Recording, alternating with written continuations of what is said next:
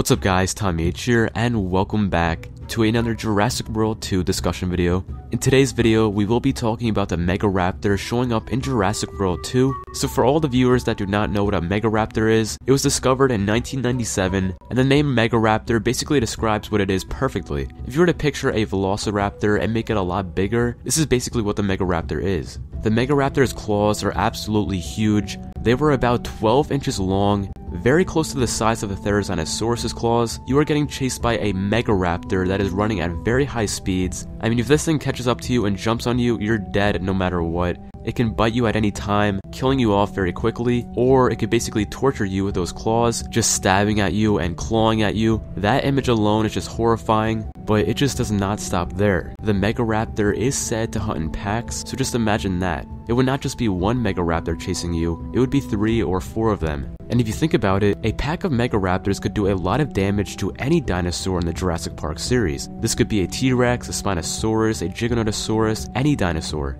And for anyone who was a big fan of King Kong 2005 and you saw the Venatosaurus show up in that movie, you would love the Megaraptor. The Venatosaurus was a much larger, much more powerful version of a raptor, and the Megaraptor is much larger and a lot more powerful than the Venatosaurus is. So just imagine a pack of Megaraptors roaming the streets of New York, or just any place in the world, killing people, slamming the cars, just causing absolute chaos. A few opponents that the Megaraptors could go up against are a pack of Carnotauruses, the Baryonyx, I guess basically any dinosaur. We could put it up against a pack of raptors, we could put the Megaraptors up against a Spinosaurus, a T-Rex, even some herbivores such as the Ankylosaurus, the Triceratops, or the Stegosaurus. Those would all be great opponents for the Megaraptor. Just seeing a Megaraptor pack surround a Tyrannosaurus Rex or a Spinosaurus would be absolutely amazing. So hopefully in Jurassic World 2 we get to see the Megaraptors. Now I don't want the Megaraptors to replace the Velociraptors, but I would like to see the Megaraptors go up against a few popular dinosaurs and a few very large, very powerful dinosaurs.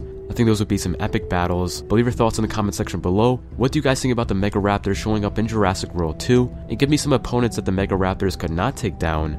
And do you think a Megaraptor pack could take down a T-Rex, a Spinosaurus, a Giganotosaurus, any of those dinosaurs I listed earlier? Leave that all in the comment section below, and if you guys are new to the channel, please subscribe, and as always guys, leave a like, and have a nice day.